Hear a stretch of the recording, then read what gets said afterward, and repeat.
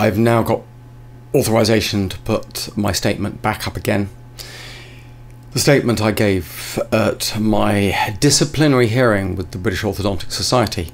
And just to recap, this was um, for comments that I made on videos on YouTube and multiple different videos that I made. I've posted on YouTube, all but one are still up there that apparently the British Orthodontic Society was claiming that this content did not represent a position that was considered to be in the best interests of patients and contain views that cannot be substantiated and are misleading. So they said that either I should take the videos down or I should give written representations to support my views with acceptable evidence, whatever this means, um, or they would expel me from society.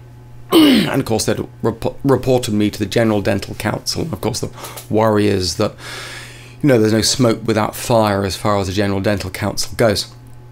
So uh, being expelled from the British Orthodontic Society could look bad when I um go to the General Dental Council, who have the power to take my license and livelihood away. Um so we'll follow with the uh, statement, and then fairly soon we'll follow with the verdict of well, what they actually came back to me with. And I just listen want to say a big thank you to all the messages I've had. It's been um, it, it is quite uplifting. I, I, I work hard and I it's it's hard. It really is hard work to do this. I know I've got a passion to do it, and I desperately want the truth. I want to get my father the represent the recognition he deserves before he dies. I mean, it's what sons are supposed to do. Um but thank you for your support. If you can, do sign the petition because this is how we get change. You know, you coming together, you ask how you can help. Please to sign the petition. We'll have a link below. And here's a statement. Thank you very much. Statement to the British Orthodontic Society. Very sorry to drag you here in these circumstances. Please understand the difficulty of standing here effectively alone in front of you all and your lawyer. Today, I risk my career for my scientific beliefs and the defense of my freedom of speech. Due to your actions in seeking my expulsion from the BOS and reporting me to the GDC, this exchange is necessarily adversarial, and formal, which gives me little room for pleasantries or a more constructive approach. In science, it can be a great advantage to be proven wrong, from which you can learn so much. In law, it is ill advised to be proven wrong, which can frequently cost you dearly. It is my hope that this event can have a constructive conclusion, but you will have to excuse the formal tone. Since 2009, I have made many attempts to gain your attention. But persistence and some luck has finally succeeded. And achieving such a meeting such as this in quite an unorthodox manner. I believe that you have a fundal misunderstanding of how those in the orthotropics movement are thinking and approaching malocclusion. It seems to be due to structural problems in the system. It would be interesting, for example, to understand what happened to the concept that you need to be proven wrong rather than have to prove yourself correct, especially given the current evidence base within orthodontics. In relation to the allegations, all the allegations, but specifically allegations 1, 2, three, four, seven, eight, 9, and 11 would require a discussion on the etiology of malocclusion and quite possibly one on the pathology as well prior to any meaningful investigation or cross examination. There is a significant misquote in allegation 3 relating to the suggestion that I related malocclusion with intelligence, which would materially change the question raised, and I hope you may look at this again. I feel that allegation 5, where I discuss my father's case and my work level and income, does not require a defence. It is clearly my opinion, which I am fully entitled to and to express publicly. There are no incorrect statements made. Allegation 8 refers to statements on a different website. I cannot be held responsible for the comments of others. There is nothing wrong in mentioning they exist or that someone should look at the site for any reason. Allegation 10 relates to the concept of baby led weaning. I'm not going to make a full defence to this, as it is very likely I will have to make this again at the GDC. And I am duly suspicious that comments I make now may be used against me at the GDC. However, the reference list that I will be using will include these papers. Quoting no difference in self reported frequency of choking between infants introduced to solid foods using baby led weaning or traditional spoon fed approach by Brown, A.J. in Human Nutrition Diet 2017 December 5 and a baby led approach to eating solids and risk of choking Fangupo LJ et al. Pediatrics 2016 October edition 138 4 both are very clear in their assessment that early weaning directly onto solid food posed no greater risk of choking. It is important that they to note that is your responsibility to demonstrate that I am wrong, which given these looks very unlikely. As a matter of goodwill, and to demonstrate that we are actively attempting to compromise, we have removed this video. Defending allegation 11 and 12 would require the disclosure of confidential information. If this is deemed necessary, I will deal with this situation at the GDC, the General Dental Council. However, I do not feel that an internal disciplinary hearing in a scientific club extends this far. Also, the individual in allegation 11 has suggested that he would like to act as a witness to the allegation himself. An allegation 12 would require a debate on the etiology first. For the record, I would like to state that, in my opinion, these allegations are an attempt to silence me and prevent me from providing beneficial information to the general public, including your beneficiaries, as well as diverting attention from your need to engage in a full and meaningful debate on the cause of the problems that your members are treating and to discredit me.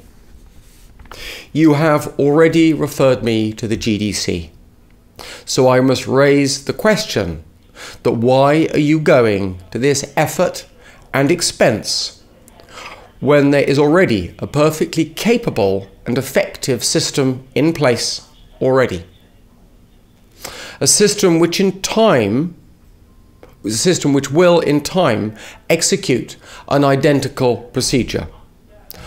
Also, from your letter of 20th of July, it appears that this event is purely to satisfy legal protocol. You have already found me guilty. As I have you present and in attendance, I would like this opportunity to formally challenge this society to a debate on the etiology of malocclusion.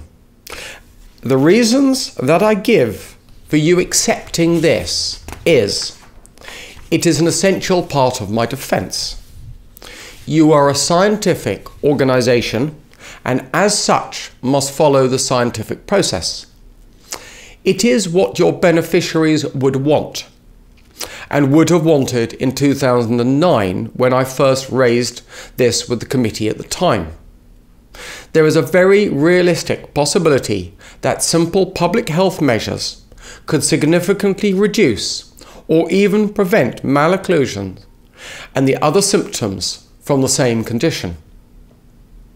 If you do not understand the cause, how can you provide effective therapy?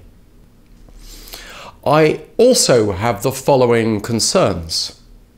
That a downswing in facial form, as explained under the concept of craniofacial dystrophy, has can be predicted, sorry, can be precipitated by some forms of orthodontic therapy as practiced by your members on some patients in some situations, and that this can be a factor in the etiology of OSA, obstructive sleep apnea. There is a considerable body of medical opinion supporting this. Patients under treatment by your members are not receiving fully informed consent, especially those who are diagnosed at a young age who are told they will need to wait and have surgery at a later date. Permanent retention may, over time, compromise periodontal support. Given the nature of my concerns and risk management in healthcare, it would seem prudent that you take my concerns seriously and engage with me on a level playing field. I should not have to provide any evidence. As a registered specialist, and member of your organization, suspended or not. It is my ethical duty to raise my concerns and yours to hear me out in full. Incidentally, there is good circumstantial evidence to support this.